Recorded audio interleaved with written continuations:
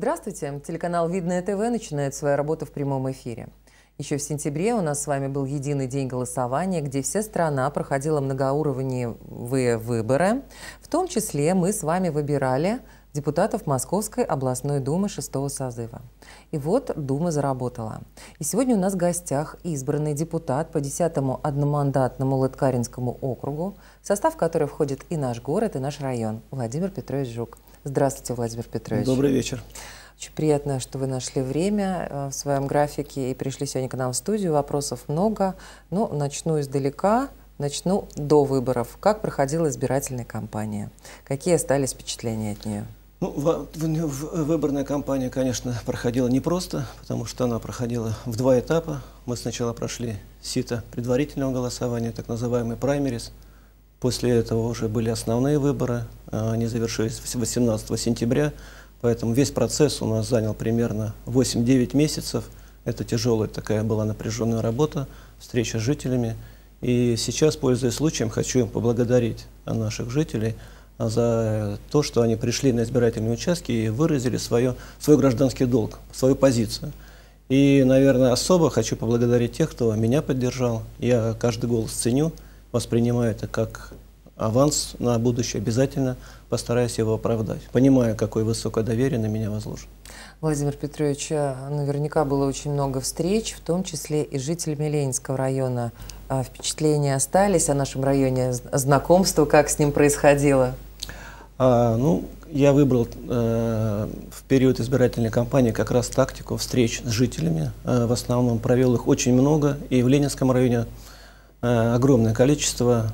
Мне кажется, везде э, люди есть э, положительные, везде есть активные, в любом дворе, в любом поселении, в, любом, в любой деревне, в селе есть люди, которые душой радеют за свою территорию, приходят с предложениями. Неравнодушные. Неравнодушные, да. Поэтому самое хорошее впечатление о Ленинском районе у меня. Но какие наказы давали вам жители Ленинского района в период избирательной кампании, мы поговорим чуть позже. А сейчас я хотела бы предложить нашим телезрителям сюжет о первом заседании Думы шестого созыва.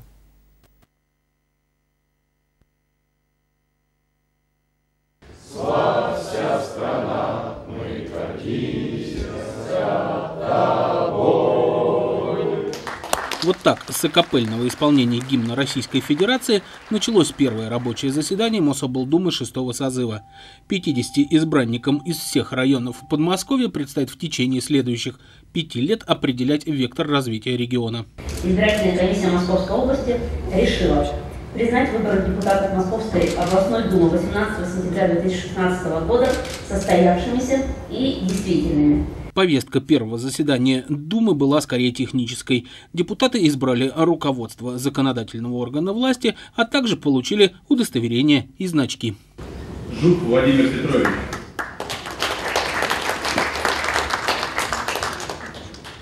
Первое рабочее заседание. Конечно, на нем будут рассмотрены в основном вопросы организационного характера. Будет выбран председатель областной думы, его заместители, другие руководящие органы. Будут сделаны предложения по составу комитетов и по руководителям комитетов, и некоторые другие вопросы.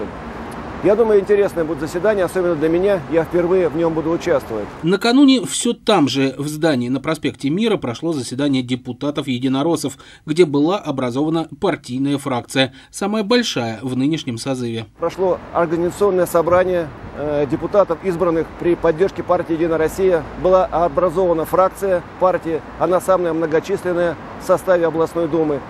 И избраны руководящие органы этой фракции. И сегодня она э, та фракция начинает работать.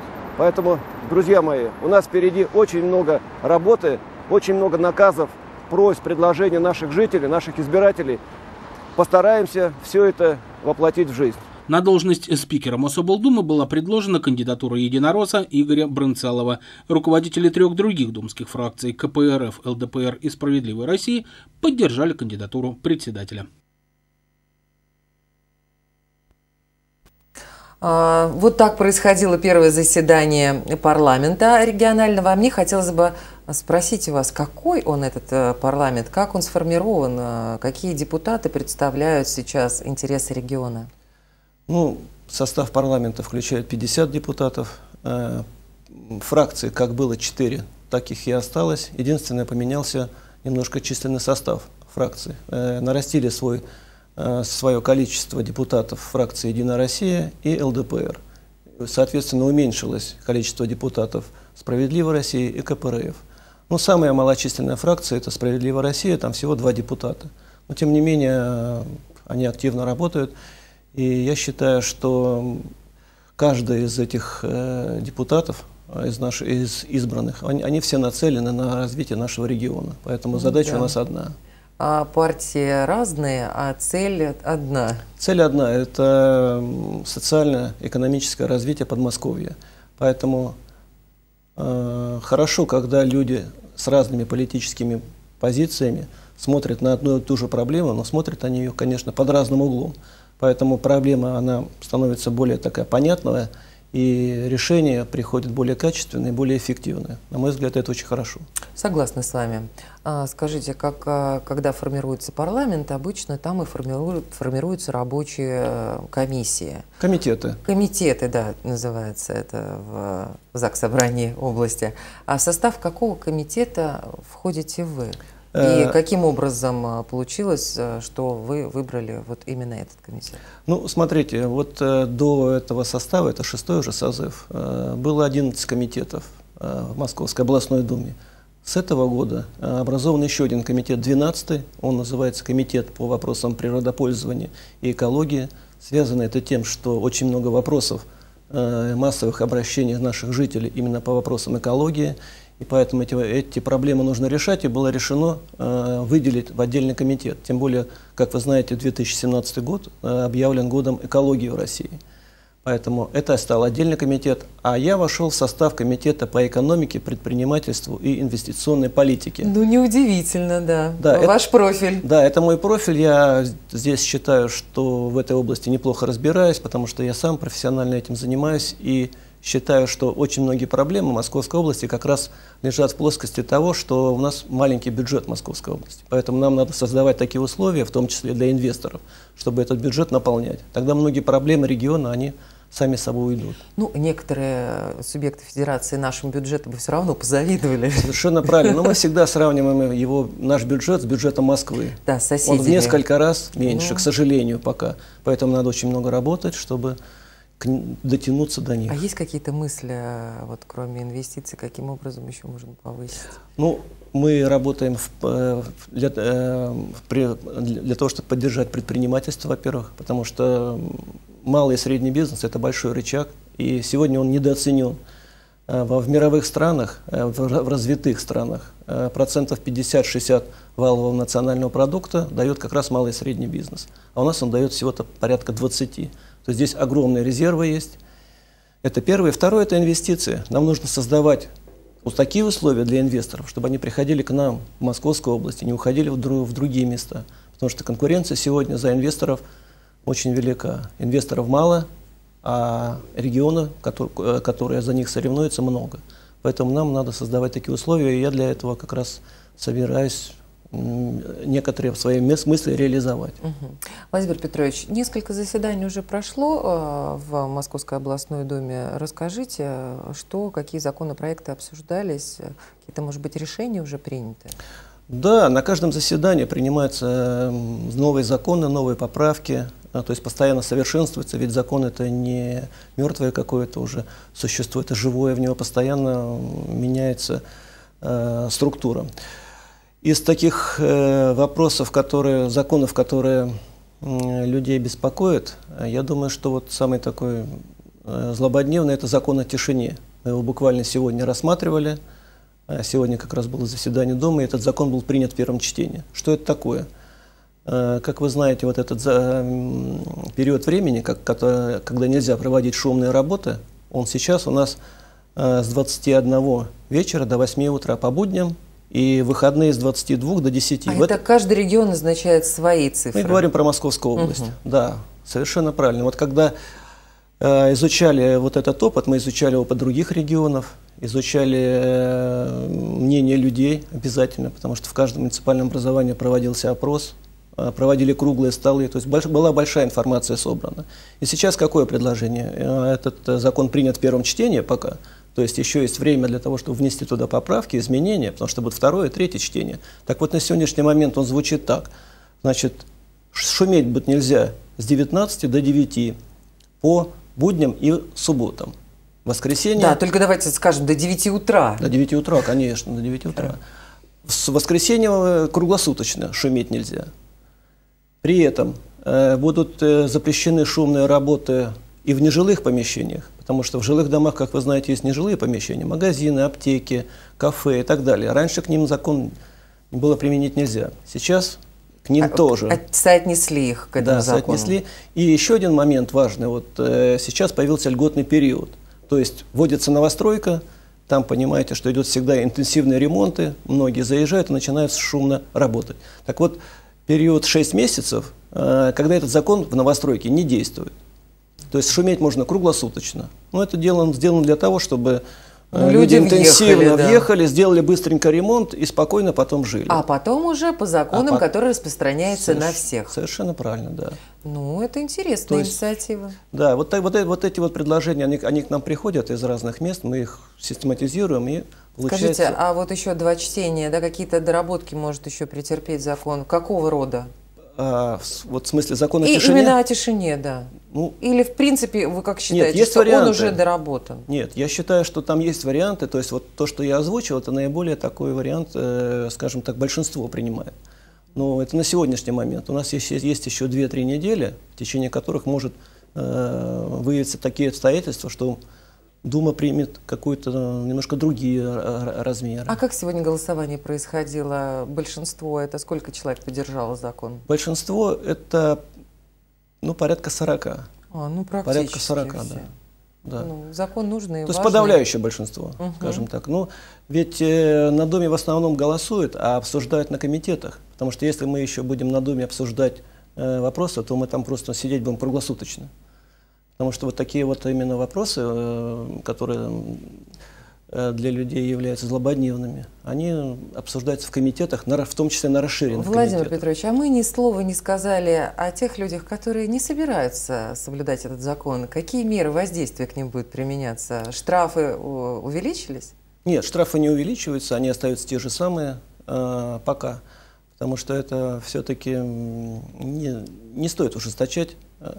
Я думаю, что не так много людей, которые не соблюдают этот закон о тишине. Потому что у нас есть полиция, если кто-то шумит, можно позвонить, полиция должна приехать и сделать так, чтобы человек выполнял закон.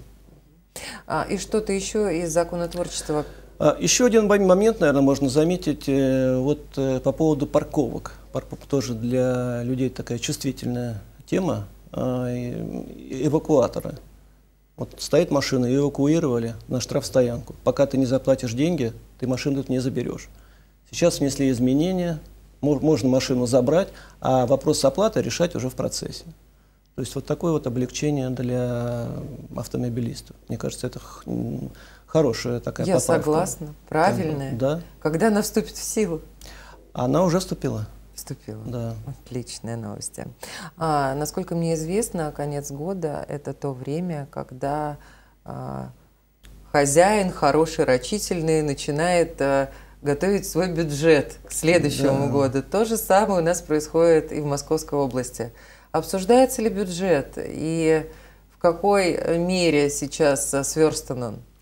Бюджет уже сверстан, он как раз активно обсуждается уже несколько недель. Бюджет на 2017 год и на плановый период 18-19. То есть практически как бы на три года. На три года. Да. Ну, учитываем мы, конечно, сложную экономическую обстановку, не только в Подмосковье, наверное, во всей стране, но, может быть, даже что там говорить и в мире не все спокойно. Поэтому непростой бюджет, но отметить нужно только одно. Все социальные обязательства, которые взяло на себя правительство, все программы, они будут доведены до конца. И в 2017 году они даже получат свое развитие. Вот я специально отметил, даже увеличивается... Э, ничего не свернули. Ничего не свернули, а наоборот начинают еще кое-что и добавлять. Э, на культуру, спорт, образование в каждую программу э, добавлены средства, и приличные средства. Важна программа переселения граждан из аварийного жилья там добавлены средства более миллиарда рублей. Это один из приоритетов для правительства Московской области и для Московской областной думы, поэтому деньги здесь выделены. Еще одна программа – это экология. На нее тоже выделены дополнительные средства в размере 1,3 миллиарда. Ну, для бюджета Московской области это приличные деньги, поэтому как бы бюджет идет вот с такими цифрами. Я считаю, он немножко поступательно движется, учитывая, опять-таки, непростую обстановку в экономике. Ну, сейчас мы, вы рассказали нам о том, как вы строите свою работу как депутата именно на заседаниях. А давайте с другой стороны еще раскроем вас. Как вы строите свою работу э, с людьми, которые вы представляете? Ну, вы знаете, во время избирательной кампании, э, во время встреч с людьми, многие говорили, что ну вот мы выбираем депутатов, а потом их никто найти не может. Я им говорил, что в моем случае такого не произойдет. И действительно, мы сейчас сформировали уже, ну, давно, уже, не, не, наверное, с месяц, э, сеть приемных. У нас в каждом крупном муниципальном образовании их, а, она есть. Их сейчас семь и одна центральная. То есть э, семь приемных. Что это такое? Туда раз в месяц мы принимаем э, людей по записи, естественно, потому что там нужно на каждом приеме присутствует у нас юрист, потому что очень много вопросов из правового поля, и мы можем сразу дать э, какое-то какое решение. Э, вот. Я, конечно, не могу на всех побывать, к сожалению, но мои помощники, я стараюсь э, бывать на всех, но помощники мне передают. Если вопрос очень сложный, то я, конечно, подключаюсь сам. Ну и по мере возможности стараюсь бывать на каждом приеме. То есть да, я знаю, что вы бываете на приеме, и у меня есть репортаж тому подтверждение, когда вы вели прием населения именно в Ленинском районе. Прервемся да. на минуточку, посмотрим. Люди привыкли, что после многообещающих речей во время избирательных кампаний новоиспеченных депутатов или других представителей власти и не сыщешь. Но Владимир Жук, который в сентябре избрался в Московскую областную думу по Лыткаринскому одномандатному округу, куда входит и Ленинский район, уверен, каждый житель должен знать своего депутата и иметь возможность к нему обратиться. Поэтому придерживается политики открытости. Так, 8 ноября в Видном состоялся его первый приемный день. Люди активно идут, записываются, и мы видим, что это востребовано. И депутат как раз нужен для того, чтобы иметь обратную связь э, с жителями. На каждой встрече у нас присутствует юрист, присутствует референт, э, для того, чтобы это все внимательным образом изучить и сразу дать правовую оценку тут же, и некоторые вопросы можно уже решить на месте. Владимир Панов пришел на прием с надеждой, что именно здесь он найдет отклик в реализации своего проекта «Счастливая семья». Для полноценной работы ему с единомышленниками не хватает отдельного помещения и информационной поддержки. Этот проект э, существует уже более семи лет. Мы его воплощаем на территории нашего города, чтобы помочь э, молодым семьям, многодетным, пенсионерам, инвалидам в плане восстановления семейных традиций – Э, семейных ценностей, всего того, что является основой нашего бытия. Записаться на прием можно было заранее, позвонив секретарю депутата или отправив сообщение по электронной почте. Но были и те, кто пришел без записи. Всех избирателей Владимир Жук внимательно выслушал и пообещал помочь в решении проблем, которые касались разных аспектов нашей жизни. Безработица, благоустройство, жилищные вопросы – вот самые распространенные темы. Я иду по жилью дочка, 30 лет стоит на очереди, и до сих пор нету. Я документы все предоставила, все. Вы дайте, что у вас какая есть собственность. Какая может быть собственность? Мать двоих детей всю жизнь воспитывала, сама работала, сама училась. И стояла на двух очередей. Очередная была очередь. И была у нас это самое льготная. Все сняли. Такие приемы депутаты или его помощники теперь будут вести каждый второй вторник месяца с 12 до 14 в исполкоме местного отделения партии «Единая Россия» по адресу Школьная, дом 17. Юлия Погосян, Владимир Бежонов, Елена Кошелева, Видное ТВ.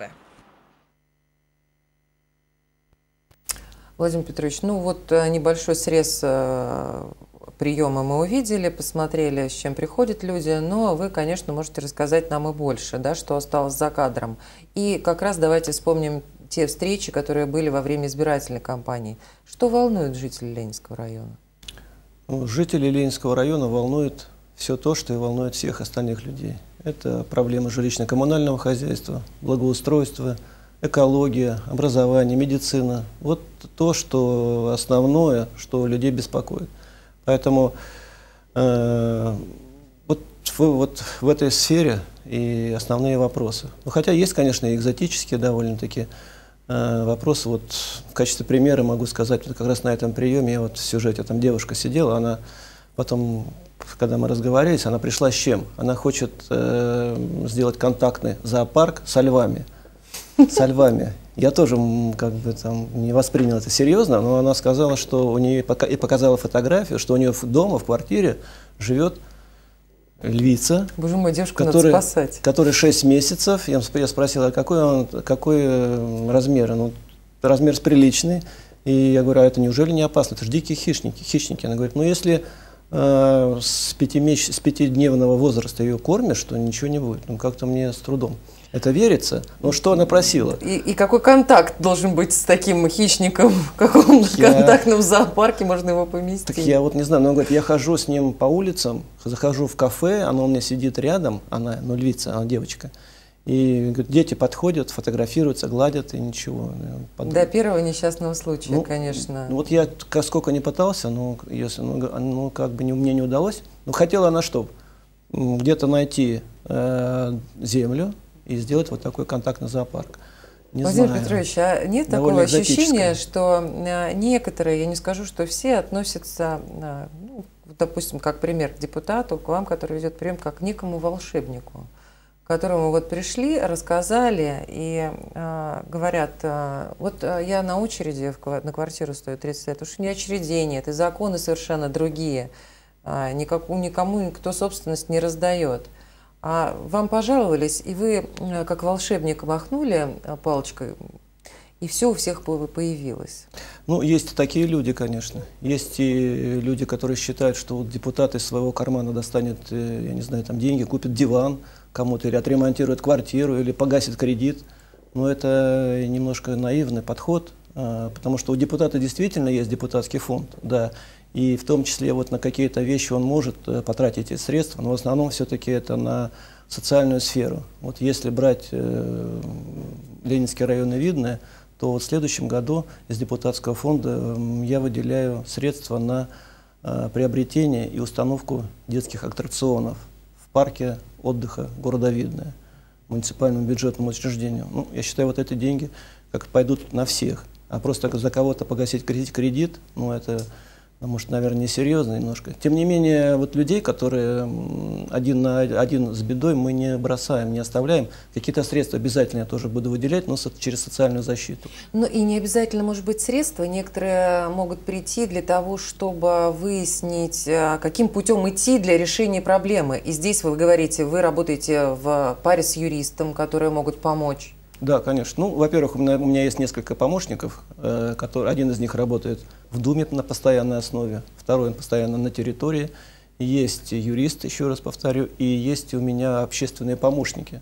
Э, по закону о статусе депутата Московской областной думы он может иметь до 30 общественных помощников. Но, то есть они денег не получают, зарплаты у них нет, они как бы ведут общественную работу. Кстати говоря, я ведь тоже депутат не освобожденный. Да, есть... можно мы продолжим эту тему чуть позже? Почему перебиваю? У нас звонок от телезрителя. Да, пожалуйста. Здравствуйте, представьте, задавайте вопрос.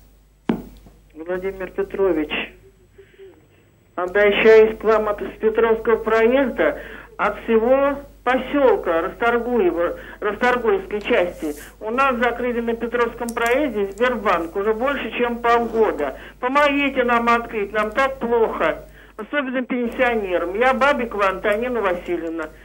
Спасибо, Антонина Васильевна. 12, квартира 41. Спасибо. Спасибо большое за вопрос. А, да, в принципе, есть он известный. Проблема, он известный. Да. Я как раз в этом месте был и в период избирательной кампании. То есть при, с людьми говорил. Э, вот мы сейчас выходим на руководство Сбербанка. Э, вот именно за тех людей, которые отвечают за эту территорию. И попытаемся что-то сделать, потому что банк, он тоже, Сбербанк, хотя он и богатый, но тем не менее он проводит постоянную оптимизацию. То есть он посчитал, что вот именно в этом месте у него недостаточно будет э, как бы, дохода, чтобы обслуживать вот это вот отделение. Поэтому он его закрыл. Ну, есть другие варианты. Может банкомат поставить, там, условно говоря. Поэтому есть варианты и обязательно будем прорабатывать. Угу. Я вас прервала а, на том моменте, когда вы говорили, что вы а, а, депутат, да, не, не на, освобожд... Э, на освобожденной, наоборот, основе. это как общественная нагрузка получается Совершенно у правильно. вас. Вот э, как у вас и работа, и депутатство, и еще прием населения.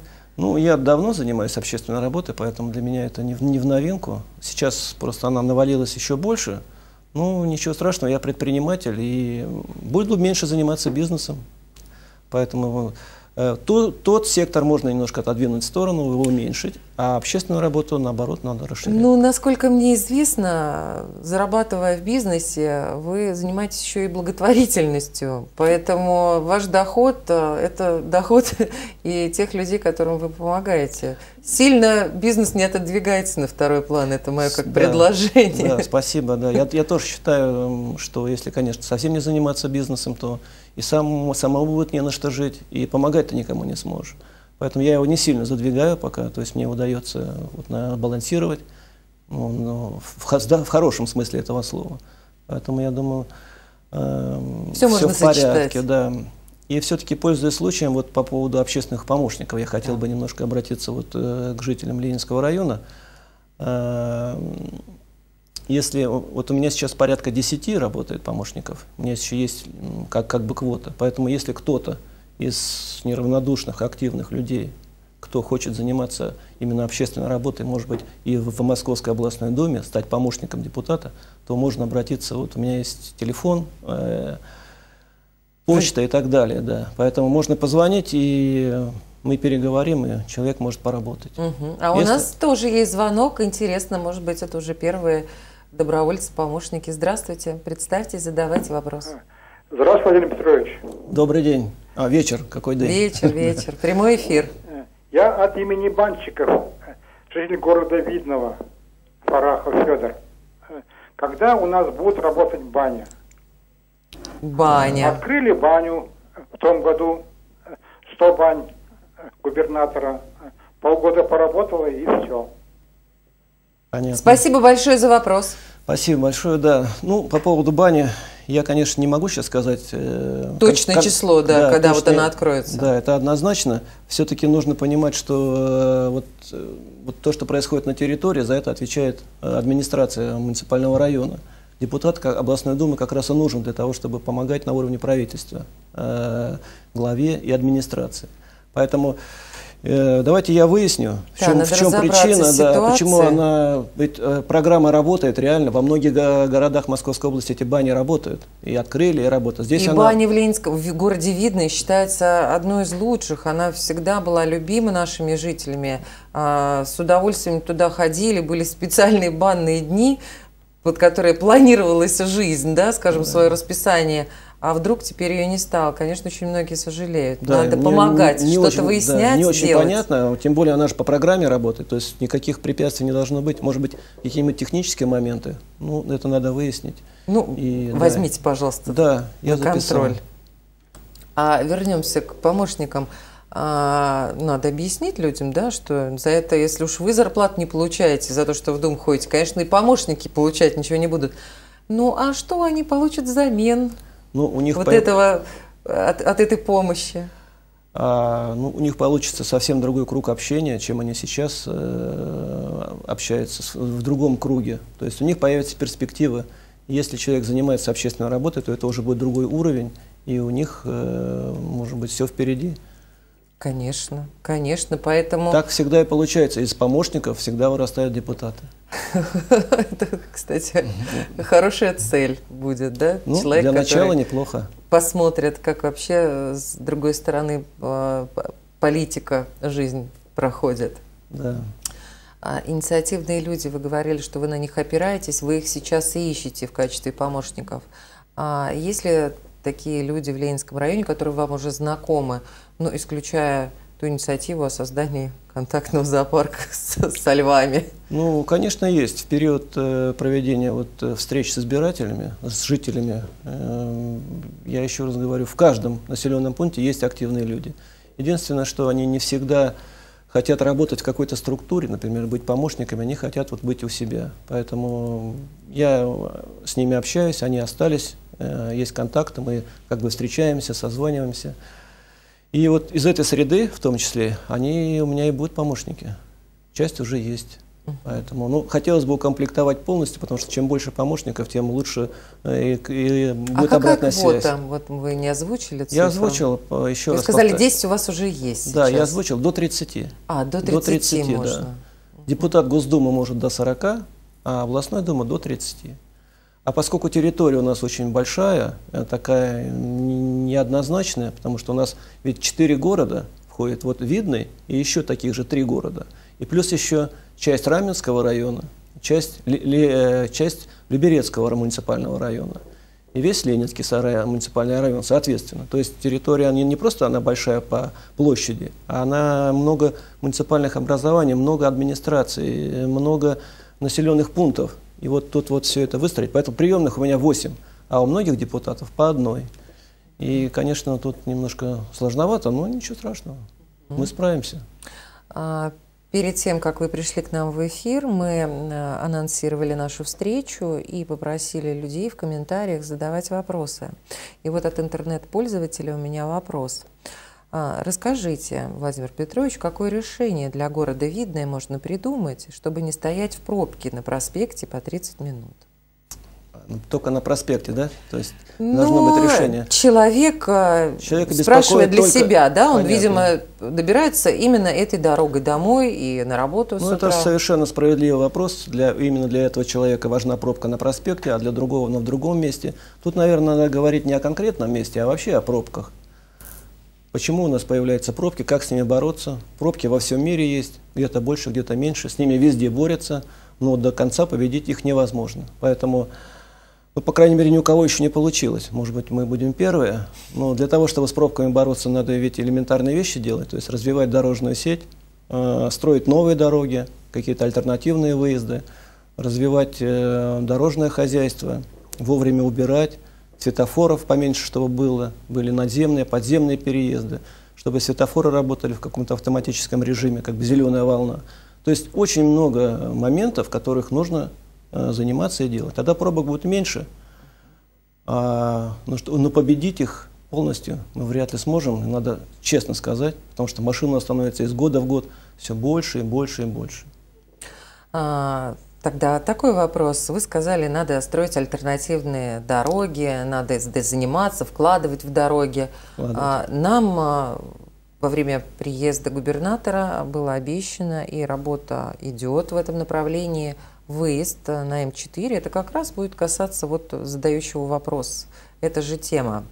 А, Область, бюджет области готов финансировать наш вот этот выезд э, для того, чтобы наши пробки уменьшились. Вот сейчас занимаюсь бюджетом. Обсуждается вопрос и города Видное для того, чтобы нашу ситуацию с пробками разрулить, скажем так.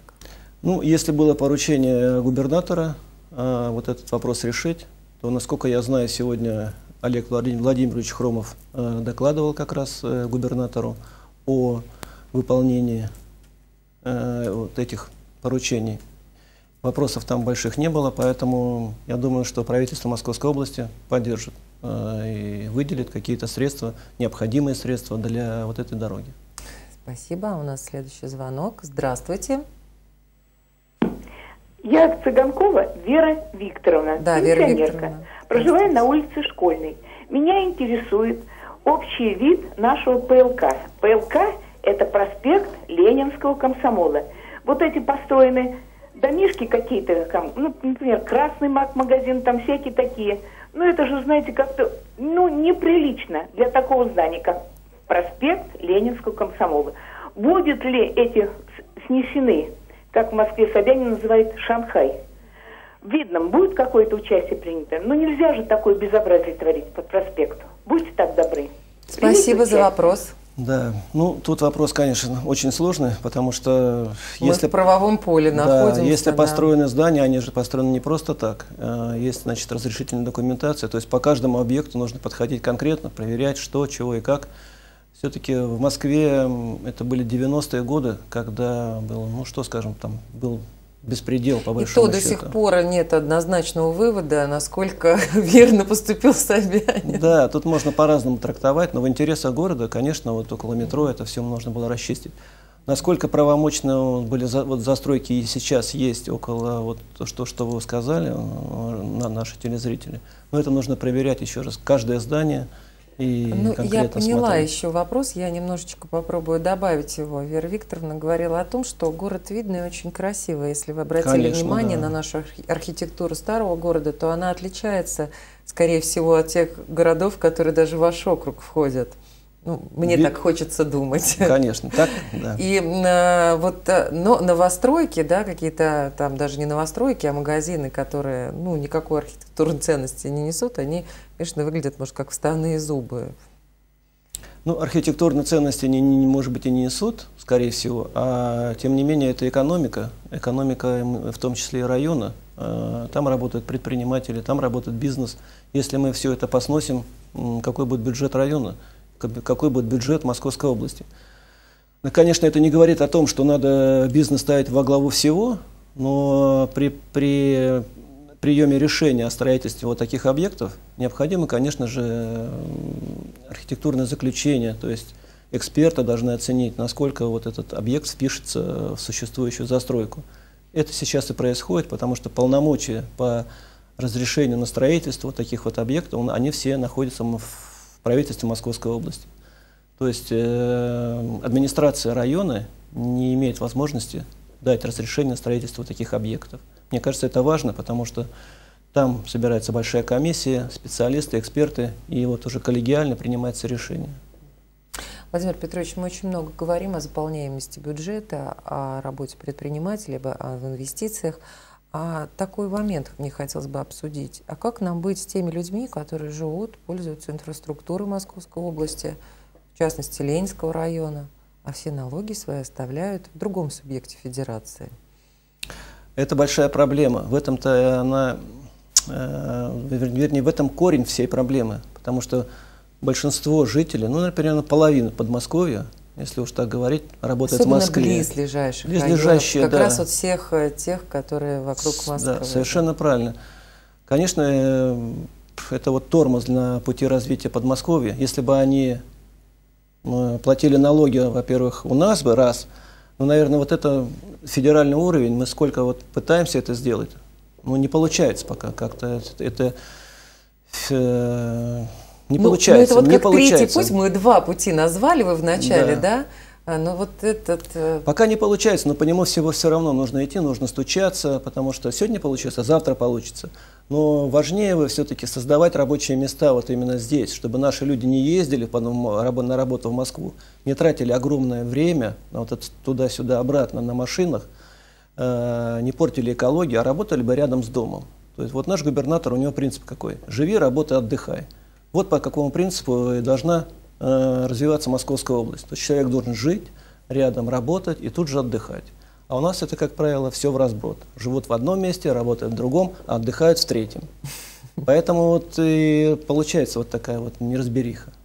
Я хочу напомнить, что мы работаем в прямом эфире, и эфир скоро подойдет к концу. Вы видите номера телефонов на своих экранах, поэтому звоните, вы успеете еще задать несколько вопросов нашему гостю.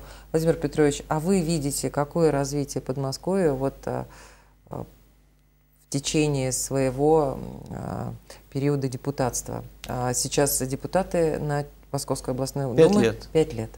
Ну, я думаю, что Подмосковье будет развиваться динамично и, может быть, даже, ну, не скажу, что, что, стремительно, но неплохо. Потому что у нашего региона очень большие потенциалы. Здесь и людской ресурс очень хороший, э, интеллектуальный уровень высокий.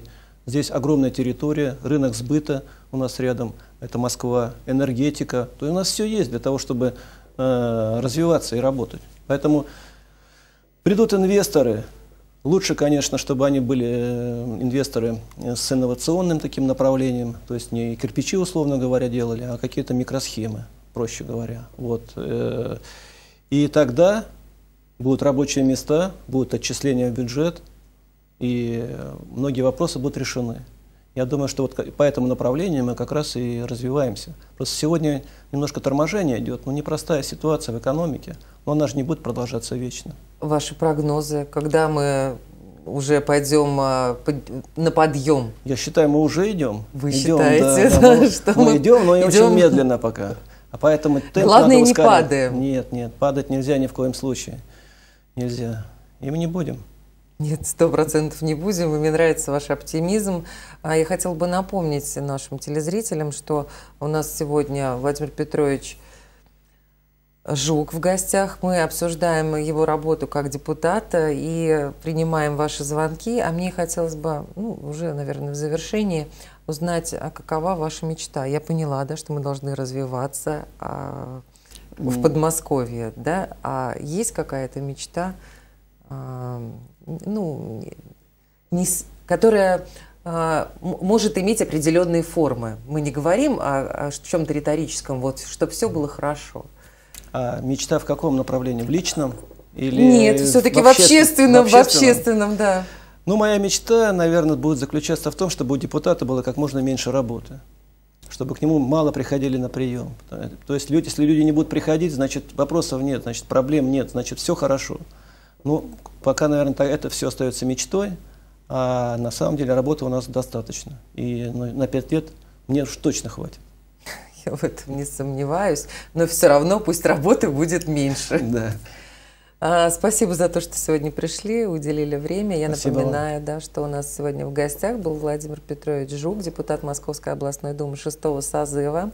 Владимир Петрович э, имеет приемную в Ленинском районе и э, Школьная 17. Школьная по улице Школьная, дом 17, поэтому все вопросы, которые не успели задать сегодня, вы можете адресовать в приемную, и вы будете услышаны, и будет вам дан ответ. Спасибо. Спасибо, всего доброго, до свидания. До свидания.